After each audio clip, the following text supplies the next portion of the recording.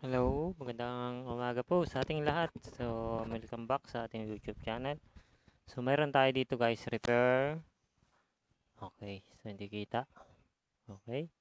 So, ito yung ating repair guys. This is, uh, ito siya guys. Yan.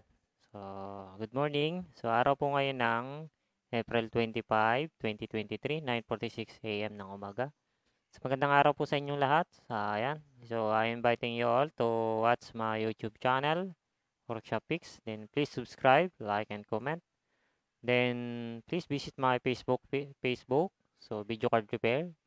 Yung logo natin, Workshop Picks. Yan. So, makikita nyo po yan sa uh, Facebook group, uh, Video Card Repair. So, uh, sa Facebook ko po, visit nyo po. Palagi po ako nagla-live sa Facebook ng mga basic repair natin ng video card. Uh, just just search ka Jonathan H. Octesa. So makikita nyo po yung ating mga live videos every day. Every day, kung ilan na repair natin day by day. So nagla-live tayo ng repair ng video card. So ayan, visit nyo lang po kung gusto nyo mapanood yung live repair. Okay, so ito yung ating repair today. Ayan. Okay, this is, uh, ayan, Asus ROG Strix Gaming graphics card RTX 3060 Ti. Yan, 8GB OC, DDR6 na po ito. Pag ganitong version, this is a DDR6. So, uh, problem sa video card is no display. So, ayan. Ayan, no display. Okay, so simulan natin siyang i-repair. So, ang pila ng repair, 900, uh, 633. Kay Sir Kate Montoya. Okay, so ito po yung repair natin, guys. Uh, show you. Yan, so ito siya. Problem po is no display. Na-disassemble ko na siya, guys. As you can see. Ayan, hindi ko pa siya nililinis. So, napakarumi pa po niyan. Ayan, makikita nyo, may moist pa siya. Ayan, so, yung ano niyan, ito yung ano, uh, halos totally expired na yung mga thermal pad. Ayan siya. Mapansin nyo. Sa luma na po siya yung mga thermal pad. Oh. Nagpo-moist na rin siya. So, kailangan na siyang palitan ng thermal pad. Ayan. So, I think, ang ginamit dito ay kung hindi ako nagkakamali, 1.5 or 2 mm ang ginamit. So, adjustable naman yung ano nito, yung yung kanyang ano, lusot naman dito sa PCB itong kanyang uh, spacer. Kaya walang problema sa sizes ng thermal pad. Ito ang ginamit dito is 1mm then 2mm this is 1.5 siguro to. Yan kasi mas ano eh 1.5 so yan yung din ang gagamit kung ano yung ano ginamit yun lang din ang gagamitin natin para hindi magkaroon ng issue. Tapos yung back So, ayan yung ano niya guys, itsura. As you can see. Ayan. So, masyado siyang mabigat. Mga malaglag. Ayan. So, check na natin, inspection. Kung anong problema. So, let's see what happened. Okay, so, let's microscope. Check natin ang microscope. Ayan. So, yun, napakarumi niya talaga. Makikita nyo, ha. So, pardon me. So, dito muna tayo sa site. PCIe. So, yun, napakarumi niya, guys. So, super dumi na niya talaga. Na-moist na yung mga ano niya. At ang butas. Hindi naman. So, marami siya mga, ayun, ha. May mga dumi. Ayan. So, meron na siyang residue. So, isusonic cleaner natin yan. Ayan, as you can see. So, marami siyang lupa. Ayan. So, may lupa siya. Sa baba, o oh, ganun din. So, ito siya. Mga residue with conversion. Tapos, yung BIOS niya, guys, oh. As you can see, napakarami na ng... Tapos, yung gabok niya, nabasa na siya. So, kinakalawang na rin yung ating, ano, crystal.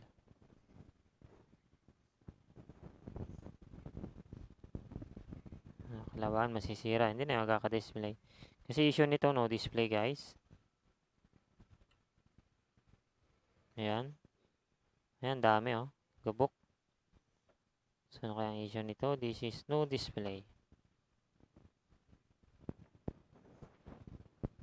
Hindi, gabok siya oh. Hmm, butas. So, ito may butas siya guys oh. As you can see.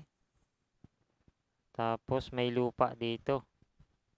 Ayan. So, nabutas siya. Tapos may mga lupa oh.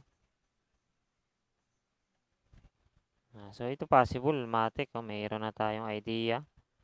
Kasi butas po siya doon. May mga lupa na. Kailangan to i-cleaning bago siya i-testing. So, ganito. So, yung back natin, ayan, as you can see, residue.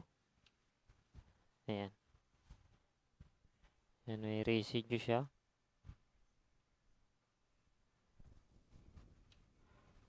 So, ayan.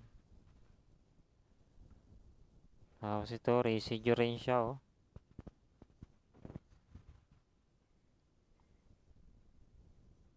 Okay.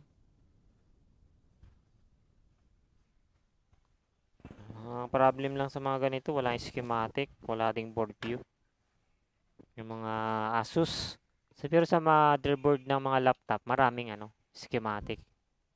Yun lang ang kaibahan ng ano, pag video card sa sa ano. Uh, hirap na hirap sa schematic tayo.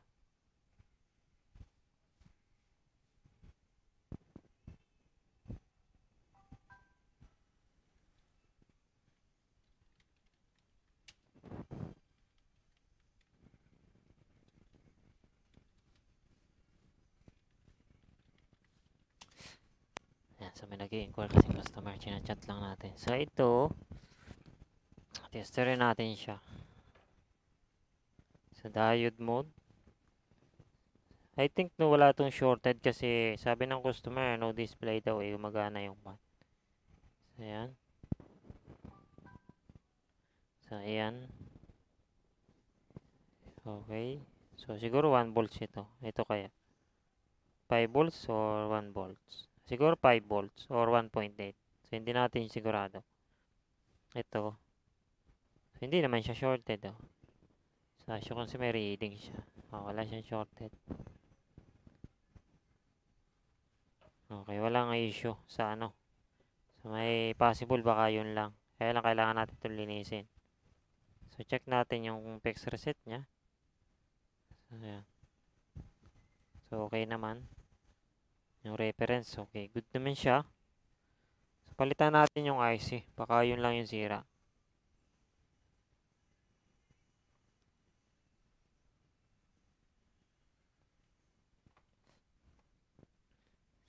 inquire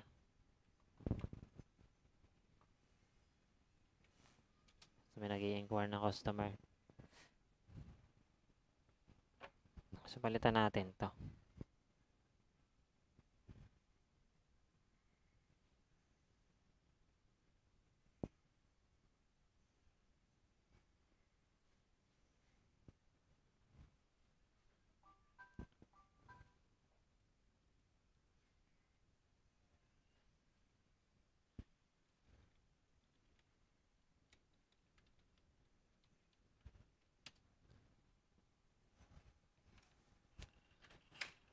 Tanggalin natin tong ano.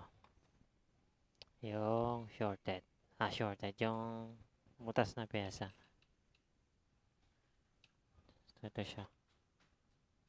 So, marami akong pyesa na ito. So, malimit naman to sa ano, sa video card.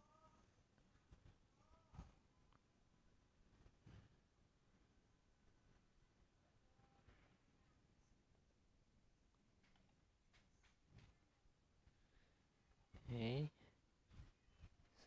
May kaano natin, hot air. Yes, I'm fine. I'm working.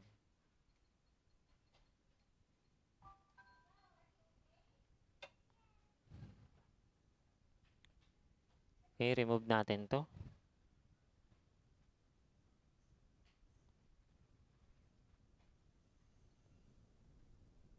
So, ito yung pin 1. Kalagay doon.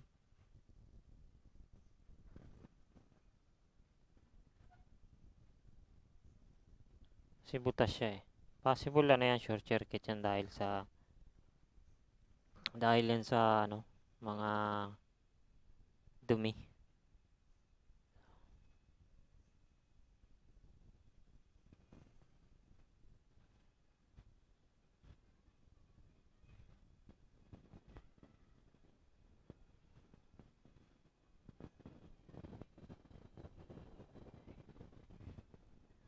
Malaki lang ang PCB nito, matagal matanggal ang pyesa.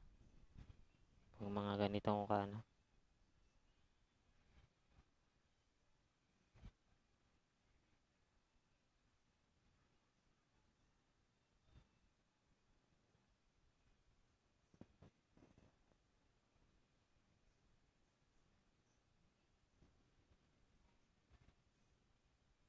Pagkatanggal natin guys, yung sonic cleaner muna natin siya. Tapos saka natin siya yan, ano, testing.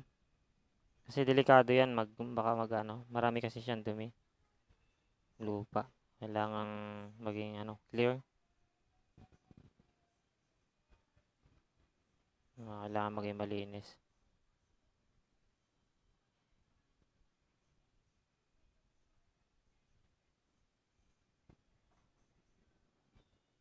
Tigas. 590 temperature ko eh.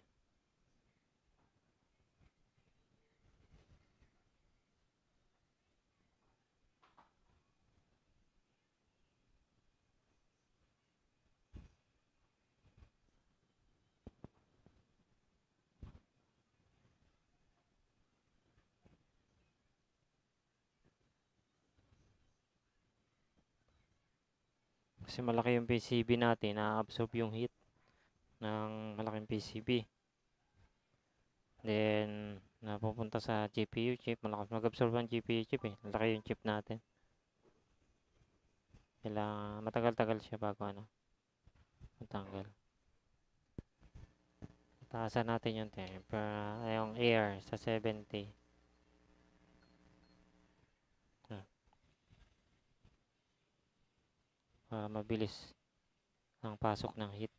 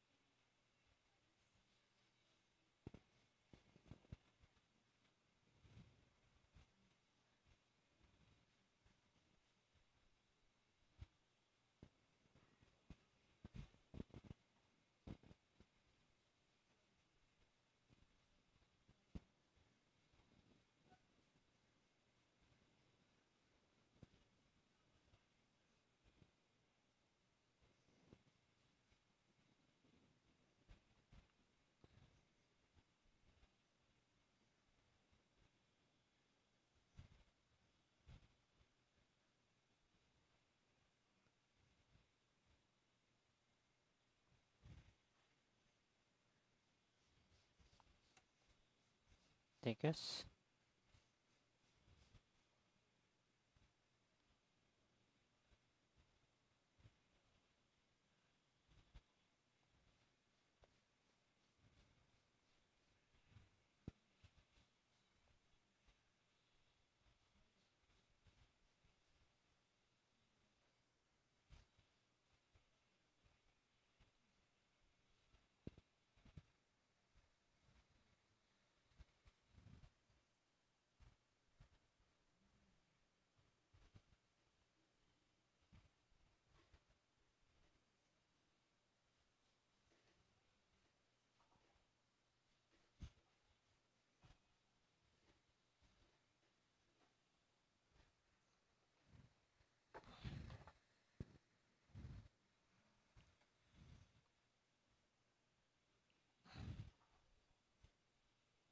Ah, ayaw matanggal.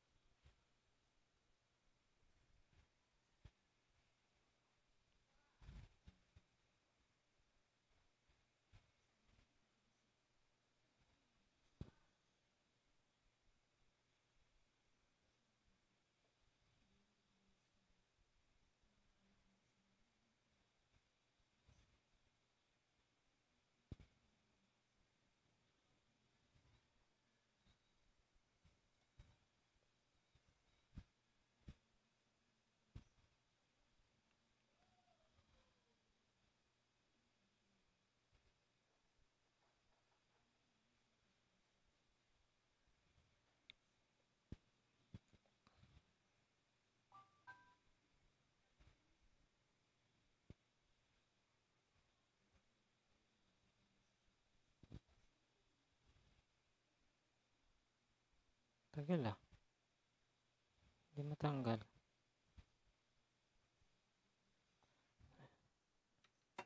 Patay ko muna yung electric pan. Siguro yun na lalamigan.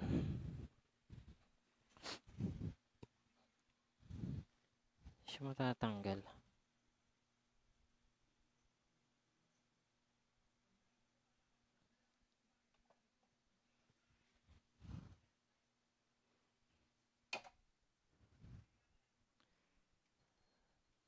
Okay, 80.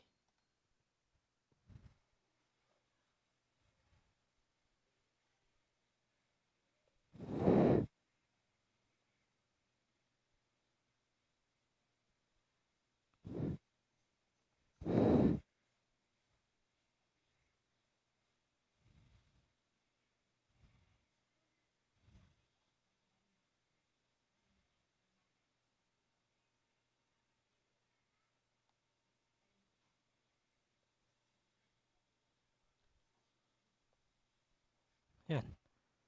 Umangat din. So, 80 lang pala katapat mo. 80 ang temperature. So, nahirap siya tanggalin.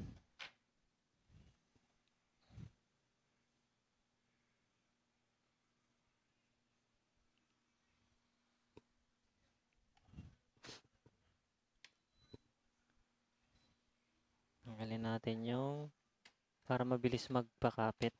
Tanggalin natin yung old na hinang. Pag hindi natin siya tinanggal, mahirapan tayo magtang ano yan.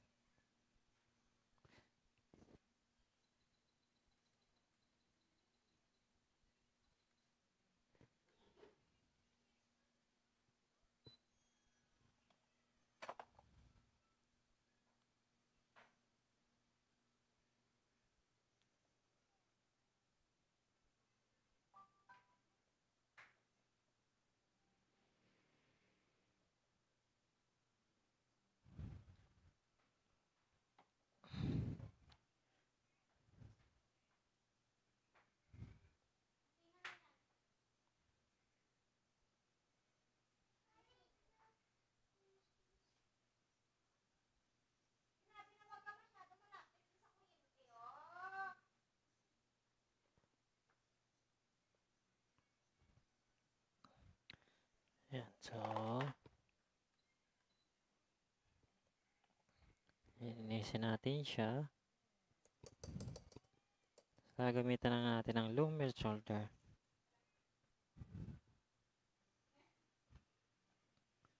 Tagal bago matanggal. So, tinaas natin sa 80 para mas mabilis kasi na-absorb ng ano eh. Laki kasi ng PCB natin. So, na-absorb siya ng motherboard.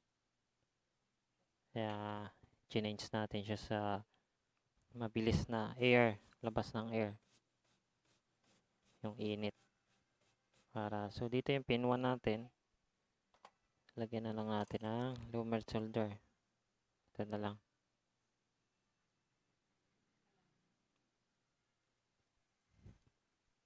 Loomer solder ang gamitin.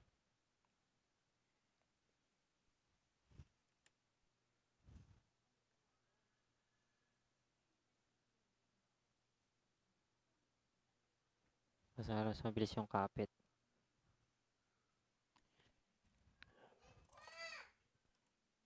So, lagyan na natin ang pyesa. Lagyan natin ang pyesa. So, pin 1. Dito sa side na to.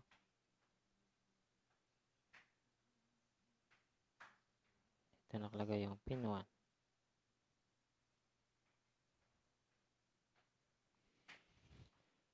So, temperature natin, babaan natin at masyadong mataas. So, 50, 60 air. So, 500 yung temperature. Babaan natin yung, yung ano lang.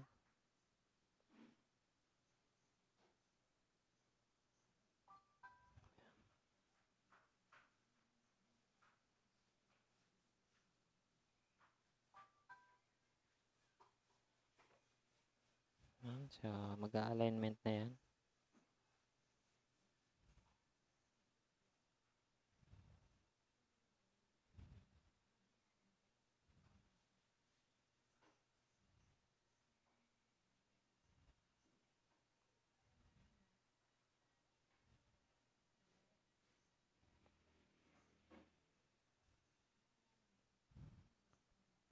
Pustiin na natin para lumapat.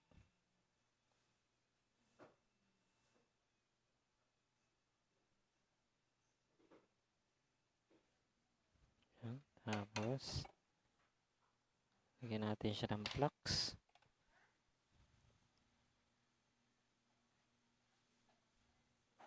Kasi re-retouch natin siya.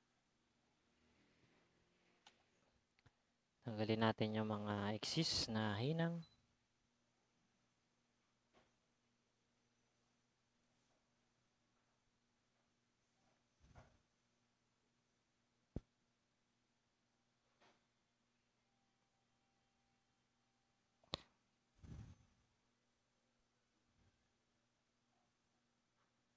Yan. So, tanggal na natin. Dito.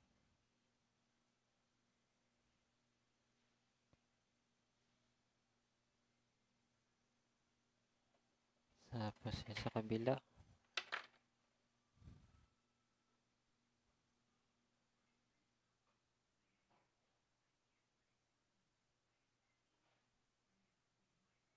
Yan, I think okay na siya.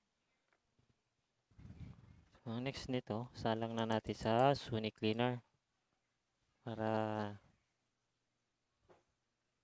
malinis.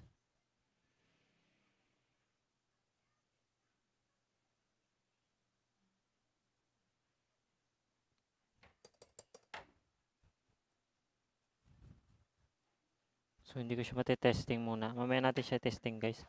Pakita ko sa inyo mamaya after sonic cleaning. Para siguradong safe.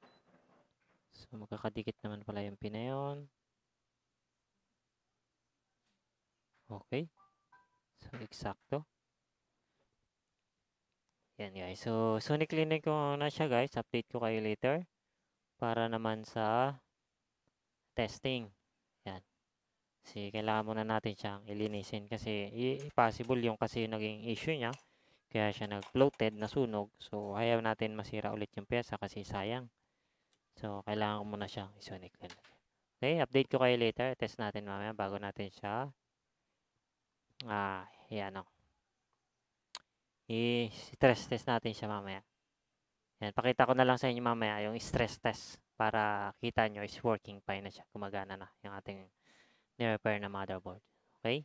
So, I think guys, yun lang naman ang issue niya para sa akin. So, pero malalaman natin mamaya. So, hindi naman natin makikita yung stress test, test, stress test nito kung sira siya. Okay? So, show ko sa inyo later ang stress test result. Okay? So, no need to test as of now kasi marumi siya. Kailangan mas salang sa Sonic Cleaner. Okay, update ko kayo later. Ayan guys, so ito na po ang update sa ating nire-repair kanina. So, pakita ko lang sa inyo. So, pinalitan po natin. Super ano siya, medyo marami lang yung thermal pad na pinalitan sa kanya kasi malaki siya, malaki yung PCB niya. Tapos ang dami ng thermal pad na needs. So, mapapansin nyo dito guys. Ito siya yung mga pinalitan. So, ito, ah, replacement na lang din nung na-repairan. Nung nagawa. Kasi pinarepairan niya na to sa ano eh. Sa ano yun? Rabis PC yata yun. Kaya lang yung parang tinipid lang yung thermal pad dun sa pinagpapalitan niya. Kasi ang liliit nung ginamit. Tapos, tapos medyo kulang-kulang, hindi niya pinuno. So, yung nilagay ko ay napakarami na thermal pad. Kasi may mga missing parts pala, especially di may, kasi may backplate siya, may para sa bira, mayroon sa MOSFET, sa ano, marami, maraming thermal pad na kailangan. So, tinipid siya nung ginamit, Travis PC yata yun. Ang naki- nakita ko doon sa sticker eh. So, napa-rethermal na rin before. So, ito siya guys, ah, running na siya, ay stress test, ayan, as you can see. Good na po. Super laki po ng video card na to guys. So, yung, bi- ang liit lang nung move ko. Tapos, ano, kalahati, malalaglag na yung video card. So, kailangan may support siya. Tapos, medyo napansin ko, parang pundi yata yung kalahati ng ilaw niya. Hindi gumagana, dito lang nagana sa dulo. So, hindi ko alam kung yan yung design or paano siya pinapagana. Kailangan ng support, yan, etc. So, super taas po ng wattage nito. Kasi, napansin mo siya, dual 2 pin siya. Yan. Tapos, ang lakas ng fan. Tapos, napakaganda ng cooling system niya, nga guys. Yan. Halos ang temperature niya, sa mga ganito kasi, malalaking video card, malakas yung temperature, mataas ang temperature. Pero ito guys, kung mapapansin nyo, umaabot lang yung GPU temperature niya, 66 degree lang. Napakababa, ang layo dun sa, hindi man lang nagsi 70 degree. Ganda ng cooling pa niya, taas pa ni speed niya, 64. Talaga napakaganda. Kaya niya pang i-100%. So, running na siya na stress test siya guys ng So, 15 minutes na magto 20 minutes na. So, hindi naman natin kailangan ibabad sa stress test yan, mga ganyan. Matic, pass na yan. So, pag ganyan, hindi nagkakaroon ng issue, wala ang problema yan. Temperature pa lang, okay na, okay na. So, pag ganyan nakikita natin, okay na yan. Perfectly working na yan. Ha? Ang brand po nito guys ay Asus RTX 3060 Ti. 8GB po. DDR6 yung memory. Tapos 256 bit. So, yung GPU clock niya is 1,800 yung gumagana ngayon. Then, memory clock niya ay 1,700 plus. Yan. So, yan yung current po nating uh, ini-stress test. So, ayan. Super guys. O, good na good po siya. Maganda ang hagod ng temperature. Siyempre, maganda rin yung pagpapalit natin ng thermal pad. Yun nga lang, medyo expensive yung GPU na yan. It comes to maintenance. Kasi yung kanyang, ang mahal sa kanya, yung thermal pad. Yan. Kasi ang dami nang nilalagyan ng thermal pad. Yan yung ano sa kanya. Kasi may ano siya, may backplate, tapos mayroon siyang para sa VRAM, mayroon siyang para sa MOSFET. Especially yung backplate kasi ang taas ng ginamit na thermal, pay, thermal pad. Ang ginamit kasi is 2.5. Ay mahal kasi guys, pag kapal ng thermal pad mo, pag mahal ng presyo kapag bibilhin mo. Ito nga guys, eh, yung thermal pad na stock ko dito, maabot na guys ito ng uh, mula 0.5 hanggang 2.5, maabot siya guys ng 7,000 kada bili ko. Super mahal guys. Yun ang ano, gastos super mahal ng ano, investment sa thermal pad. Kaya dapat hindi siya sa pwede matulog ang ating investment kasi. Yan, pinagkagastos ng thermal pad kasi so kailangan din sa pagre-repair kahit na ganun kalaki. Ayan, medyo tulog lang yung ano kasi hindi naman lahat ay nagpapalit ng thermal pad. Kasi yung iba basic GPU lang guys. Pero ito naman, ah, so far, good naman tong repair natin. Okay na okay po siya. So, send na natin sa may-ari. So, itong total cost na nagastos nito guys is uh, mura lang naman, hindi naman mamahal yung gastos. Kaya mas, ano pa rin, less pa rin sa, ano, kasi ang pinalitan pyesa, iisa lang. Um, pyesa niya sa, I think, nagra-run siya sa 1 volt. Pumuto kasi siya base din sa una natin video sa inspection. Makikita nyo yan. Ayan. So, okay na ito guys. So, na-update ko na rin yung customer. Approve na lahat. So, okay na po. So, ito po yung ating update sa ating video car repair. So, muli, magpapaalam na po ang Workshopix Video Card Repair. Okay? Para sa mga bagong salta sa aking channel, I invited you to subscribe, like, and comment. Pakishare na rin po sa iba nating mga kaibigan kakilala para po malaman nila. Yan. Kasi marami pa po ang hindi nakakaalam na may video card na naggagawa, then may video card na yung marunong gumawa. Yan. So, hanggang dito na lang guys. So, see you on the next repair video. Hanggang sa muli. Bye-bye.